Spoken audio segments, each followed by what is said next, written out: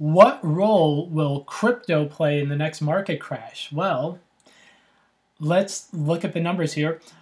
Crypto was the investment of 2017. That was the year that the Bitcoin started to get all over the news.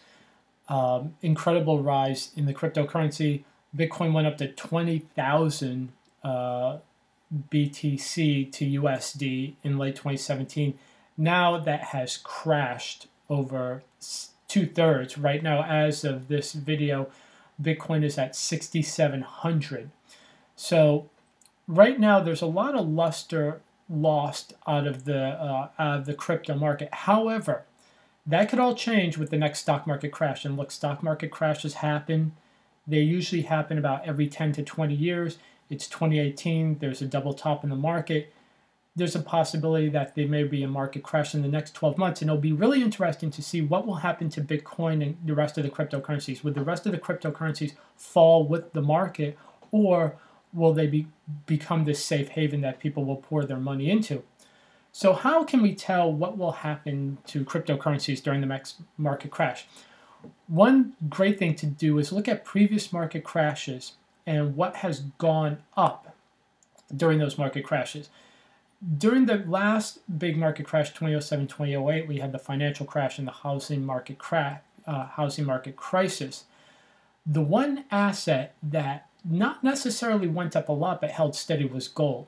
A lot of money um, went into gold but not as much as you think because a lot of people they trade on margin during market booms and when they have to get out of their trade, they have to liquidate everything, and that means people have to sell their gold at a certain point just to get out of a trade, um, especially if they're on margin. So, if we do, well, when we have the next market crash, I believe that um, crypto will hold its value better than the stock market.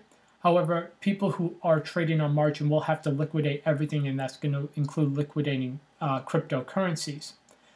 However, I do see cryptocurrency being a little different from gold in that if we have, if during this market crash, financial institutions begin to get taken out, and that's a very huge possibility because they essentially, um, the, our financial, our banks have become financial and investment institutions, so they're both tied together. You, there was a point decades ago when banks were um, we're not tied into the stock market too much.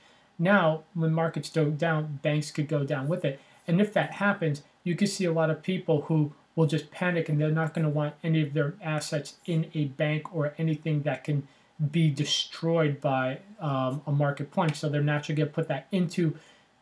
The, some people will put it into gold. I think older people will still believe in gold more than crypto, but a lot of younger people will put their money into crypto. A lot of people who live in like China who really can't get access to gold as easily will find a way to get into a crypto market.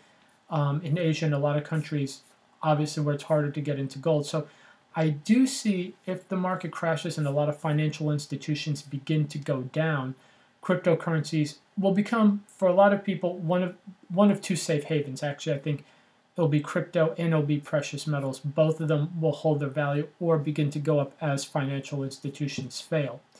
So, how do you play this? It's very important to, to look at when you see these safe havens, the safe havens are not really long term investments for a majority of your cash. If you panic and you say, I don't want my money in the stocks, I'm going to go on to crypto, just bear in mind when people put their money into gold, during the financial crash. Gold did go up somewhat in 2008 and 2009, but then gold rolled over as equities went back up because people said, okay, the coast is clear, I'm going to take my money out of gold, put it back into the equity market. So, what you can see is if when the market crashes, people will put their money into crypto, but when the market recovers, and markets usually recover anywhere from like 12 to 36 months after a crash, people will take their money out of crypto and put it back into equities because equities, even though equities may not rise as fast as crypto and other investments, it's considered the stable growth investment for a lot of people.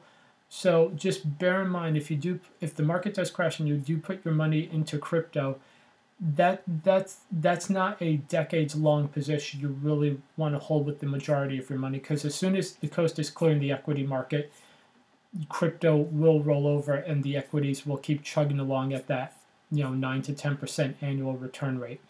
Okay so i hope you enjoyed this video. If you did please be sure to like share and subscribe. Thanks.